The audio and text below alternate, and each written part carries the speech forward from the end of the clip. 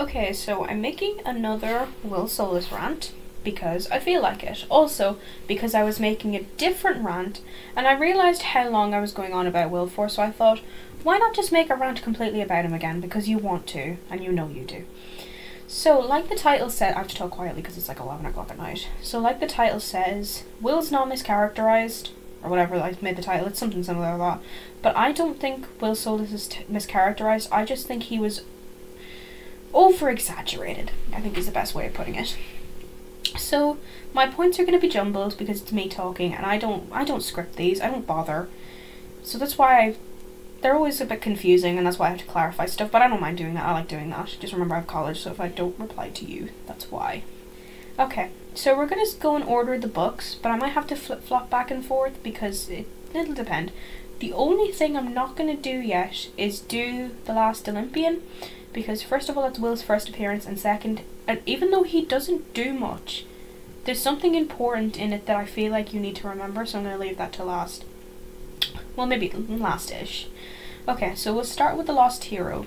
So in the Lost Hero, Will is introduced with Leo. I think that comes first. I think that comes before the chariot. So Will is the one assigned to take Leo to the Hephaestus Cavern. Now please forgive me, I don't know how to pronounce that name. So in that book, Will gets agitated very easily. Now, I know the whole point of Leo is to explain that his jokes don't hit, no one really laughs at them. But the thing is, if Will was characterized at this point to what he is today, he would have laughed. Will would have given at least a pity laugh because that's what he does. So this shows that from the first book that Will was kind of more in, he doesn't really have a character, so he must not have really been planned to have one, especially since this is the only book he appears in for the first four. So I don't think he was really planned on coming back, and if he was, that wasn't well portrayed. But in The Lost Hero, Will is easily agitated and he gets annoyed quite easily at pretty much every joke or comment uh, Leo makes. I might stumble my words, I might say the wrong name, forgive me. But the thing is, there's one comment that Leo makes that's not a joke, and it's just kind of a way of talking. Now, again, I don't know the quotes exactly, so forgive me if I get them wrong, but I know the general idea of it.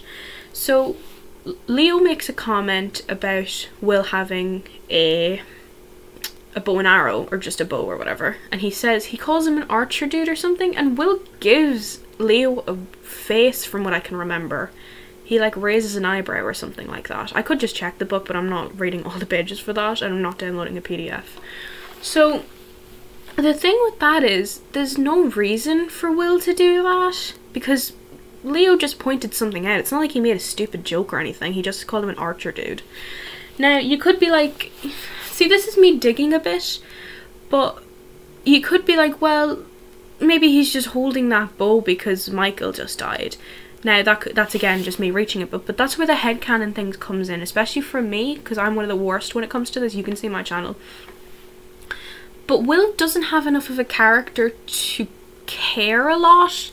And I've said this, Will was not a character of any importance at all, like throughout most of the series. So a lot of people had to make stuff up and a lot of those things were held on to because you know we never thought much would come of Will. He's always been this little fun little mannequin to play with, I suppose. But the thing is, in the Lost Hero, as I said, Will was easily agitated. He got annoyed easily, especially by Leo.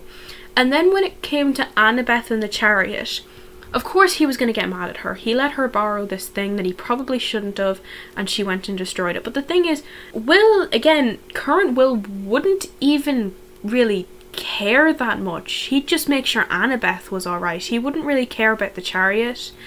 So, like I said, Wills was easily agitated in this book, and that might relate to Michael just being dead, but again, I can't specifically say that because I don't think Rick thought that, so what's the point? But yeah, Will was easily agitated in The Lost Hero. I think that's the best thing to say. The, the, the key letter for The Lost Hero is A, agitated, annoyed, you know, stuff like that. So that's the Lost Hero. And then next he appears again in Blood of Olympus. Now, I gotta be careful here because I could go on and on and on and on and this could be like an hour long rant. Which I could very much do. If you guys want an hour long rant, let me know and I'll do an hour long rant. I could go on for yonks about, about Will. But in Blood of Olympus, Will isn't really A anymore. If I say A, I mean agitated and annoyed. Will isn't really A anymore because he's more it's not that that characteristic is gone it's just not as persistent now the thing is nico describes will with words right so it's not just like he does this he does that figure it out he's quite literally labeled so in this dream nico has will's laid back. He's described as like a lanky cat. So um, now obviously I have bias because I love cats and I have two but one of them actually is extremely like chilled out. He lays in the sun and then the other is the opposite. So the thing is Nico perceived Will as this kind of laid back guy. And it's not that he's not but that's not something you see much in Blood of Olympus. Just remember laid back. So so far we've gotten the letter A and the letter L. Just remember the first letter of each word if there's words that are similar, it's just the category, but some of them are just like one word. So A is like annoyed and agitated, L is laid back. So then Nico sees Will. Now the easiest way to find this chapter is when Nico will start talking about an SUV, and when he starts talking about said SUV, Will's guaranteed to show up in the next couple of pages. I just remember that. Now there are obviously chapters where they talk about an SUV before, but it's you'll know it's not that because of how early it is. So if you want to read this for yourself, just look for SUV and then Will should show up eventually in a couple pages. So Nico had this view of Will as being laid back and very chill and nonchalant, stuff like that. And then when he meets him, he kind of ch changes his mind in a sense. He says it's not that Will isn't these things, it's just that he doesn't show that a lot. It's just he was relaxed when he was with other people. When it was just him, Lou Ellen, and Cecil, he was different because he was pushy and kind of jokey. But here's the thing if Will was similar to the way he was in Lost Hero, when Nico gave him this attitude that he was giving him, Will would have like spit it right back in Nico's face. He would have been like, he would have complained because he did that a lot. He had he, Will used facial expressions to complain but he didn't really do that in Blood of Olympus. He kind of just. The closest thing we got was the eye contact they did. Will does use physical touch a lot. That is something he does in Blood of Olympus. But he didn't do that in The Lost Heroes. So, so far, what I'm trying to say is these two. We have like kind of two different characters who you could link together, but they aren't extremely similar, especially since Nico describes Will as laid back to start with which is like the complete opposite of what he was in. Well, not the complete opposite, but it was very different from what he was in The Lost Hero.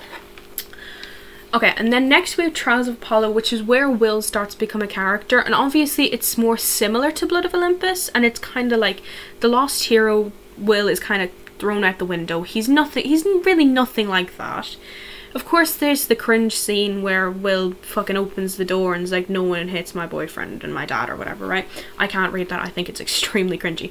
So it's not that Will doesn't have an angry bone in his body. That's not correct. But you need to really push him for him to do, to, to really, you know, get angry.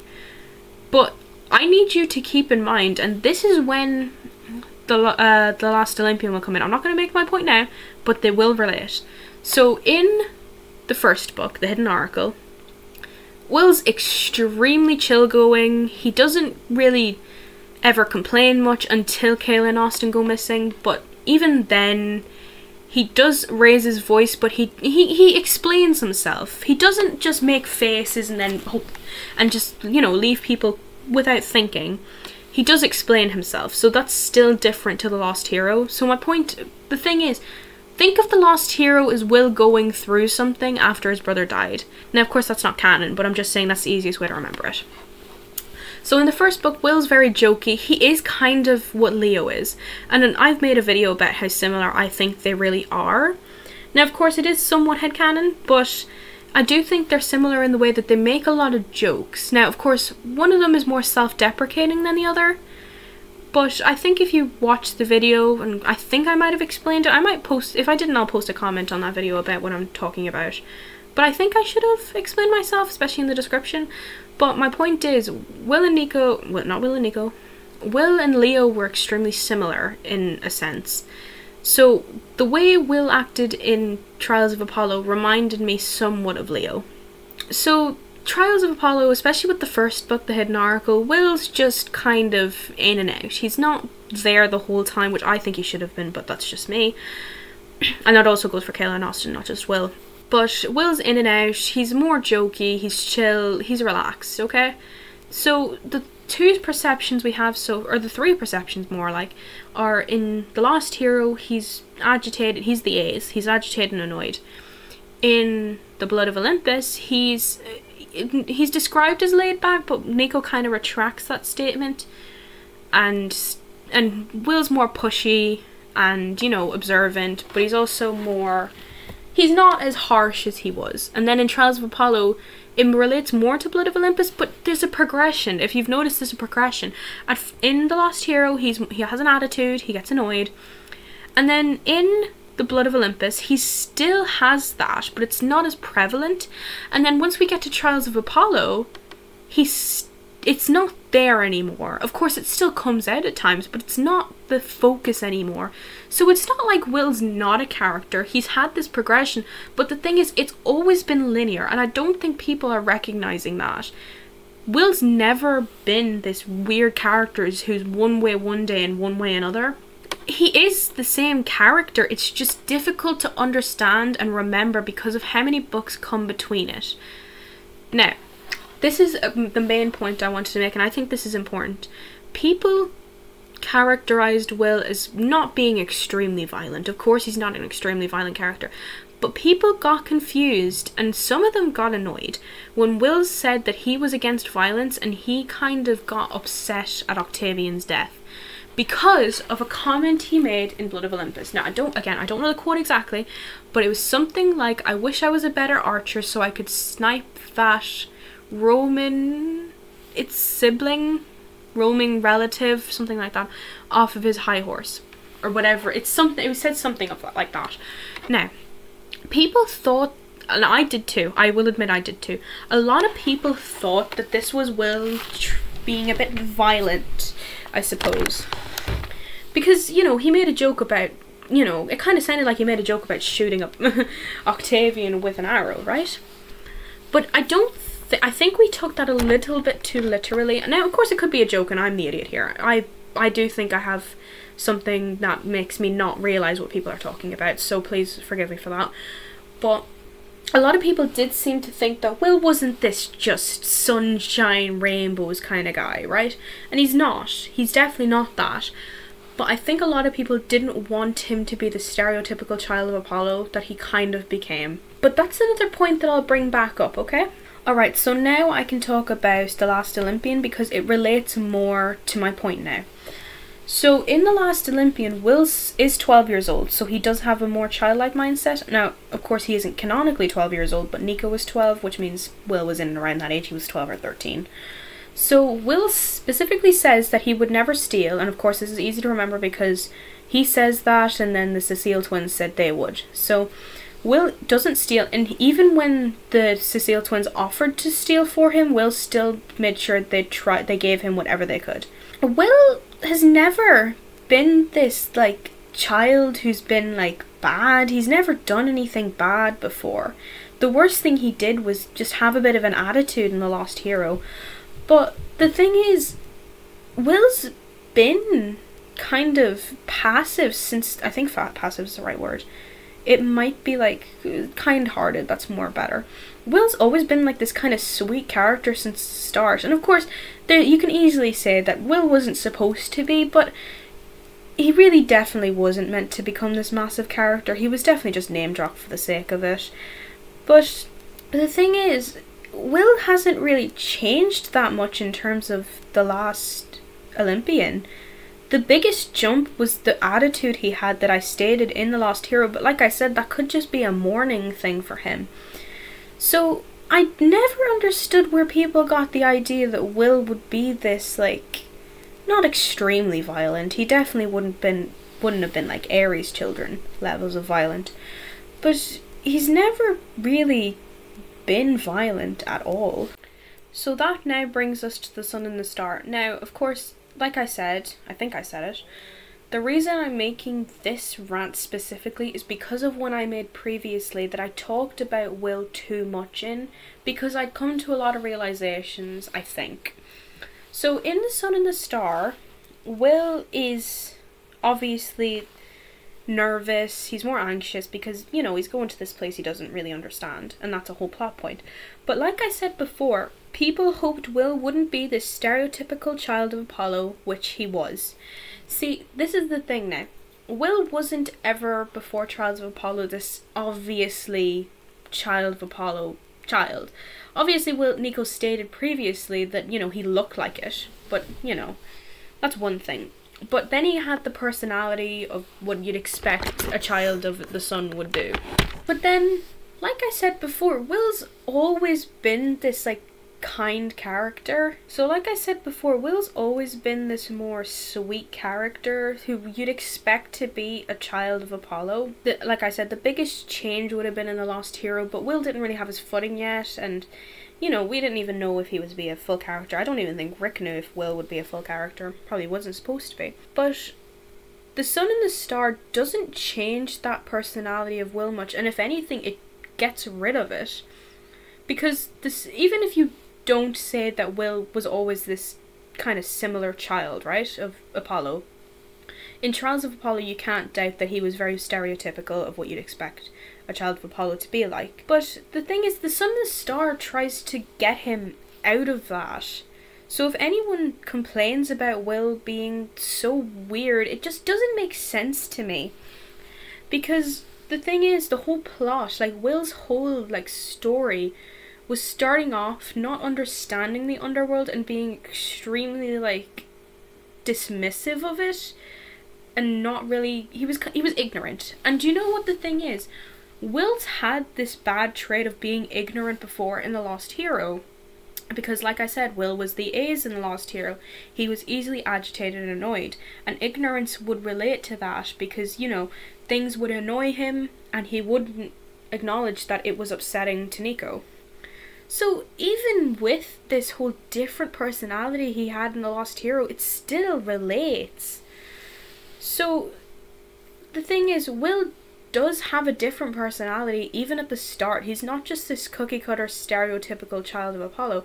But even if you still want to say that he is, like I say, said before, the whole point of Will's story is to let the I don't remember how they put it but it was like Will's always been this person who's always been, you know, kind, sweet, all the good things of what you'd expect of a child of Apollo. But that's the thing, he always was what you expected because that's the point.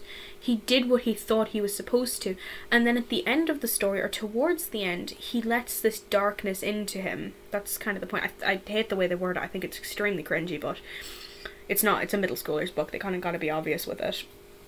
So that's the thing. Will's similar throughout all the books he's in. They all kind of click in one way or another, even though they're massively apart. Because The Lost Hero came out like years and years and years before uh, The Sun and the Star did. And yet they still relate. And then, you know, like all the books that Will's in are similar to each other. He's, his personality is similar. But I don't think people realise that. And the funniest part of it is, since Will's had all these expectations put on him by fans, it relates to his character because that's Will's problem. He has these expectations that he's brought upon himself. He thinks he needs to be able to heal people or he's worthless as a child of Apollo.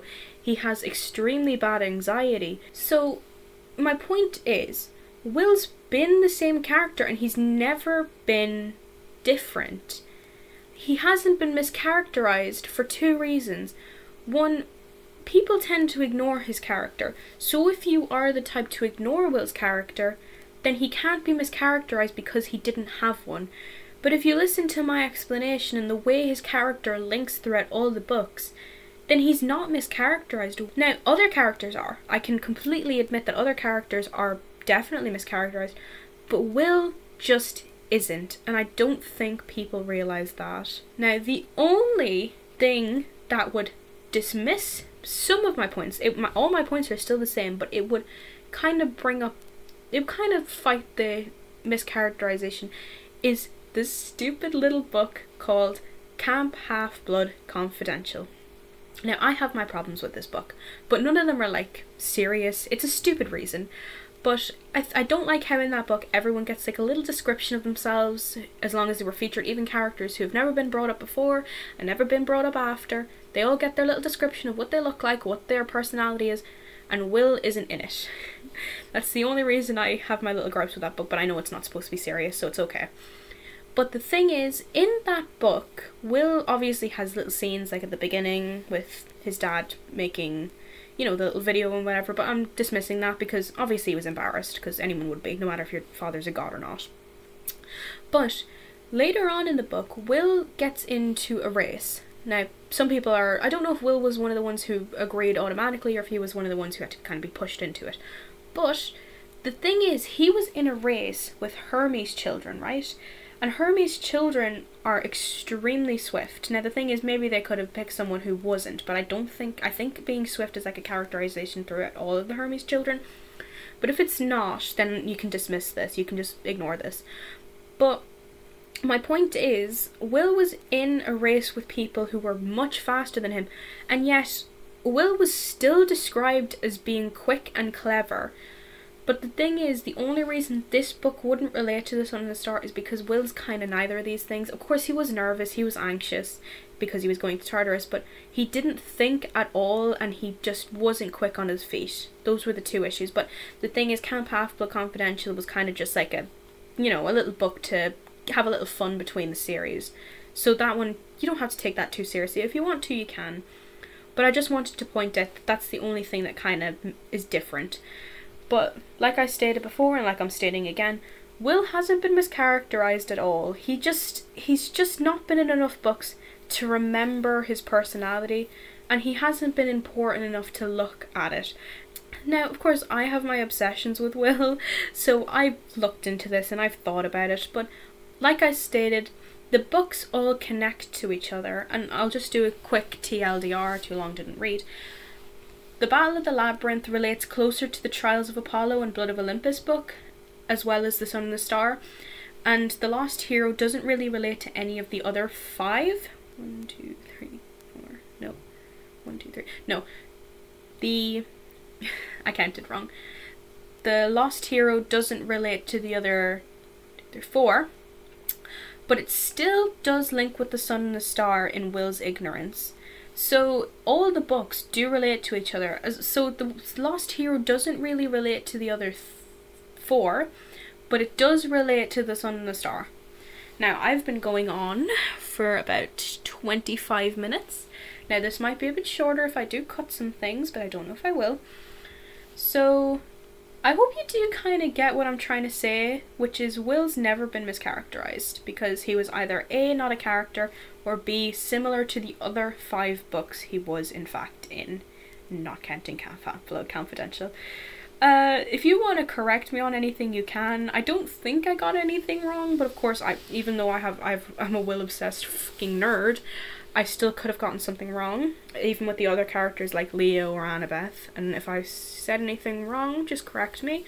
But I had fun ranting about this, and I will post both the rants that I was talking about eventually. Bye!